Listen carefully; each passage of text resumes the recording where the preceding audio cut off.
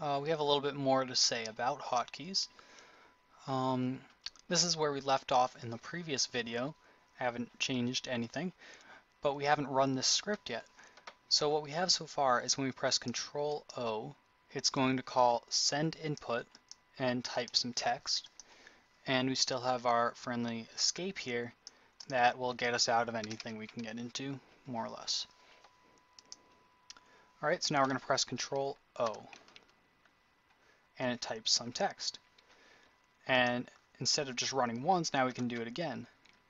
And it'll type it uh, Hold on. But you can't actually run some text because it's not legal. Okay, so we can type control 0, and we can type it again and again and again, and it'll keep going and uh, keep sending that text. So that can be useful in some cases when you want to send maybe a few hotkeys, maybe you want to send down five times or something along those lines, you can do that.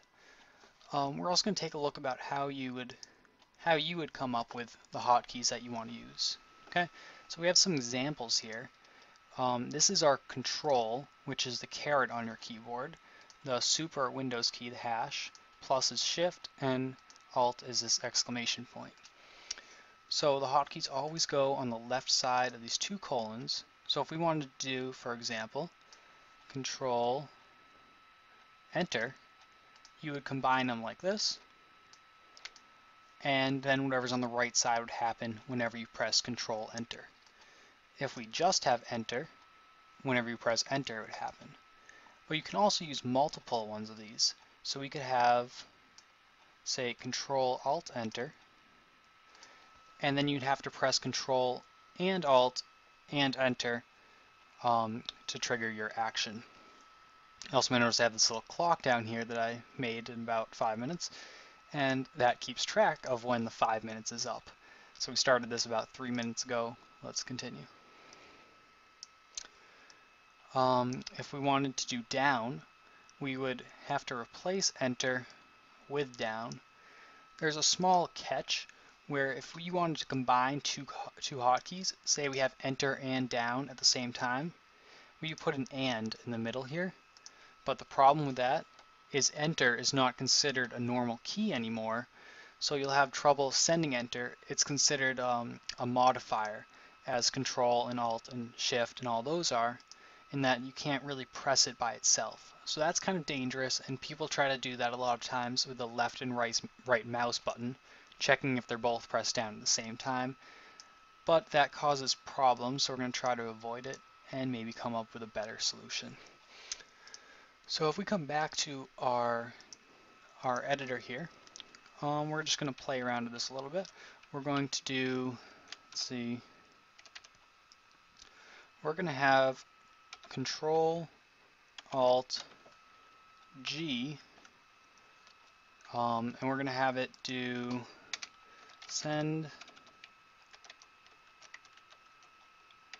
send input autohotkey.com and then enter. Alright, and we will run that. And then when we go over to our web browser and open a new tab, press Control G. Oh, sorry, Control Alt G was our hotkey. So it types autohotkey and presses enter and it'll take us to the site. Alright, well I think we're running out of time so we're going to wrap it up. Um, make sure you read the recap on the blog.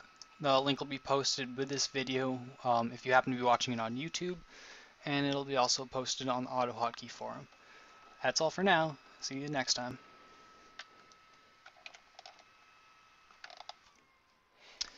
I actually have one more thing that I'd like to say first, and that's um, you can use the slide key, I'm not sure exactly how you say it, and that makes it uh, allow you to send the key, although it still does whatever action you give it.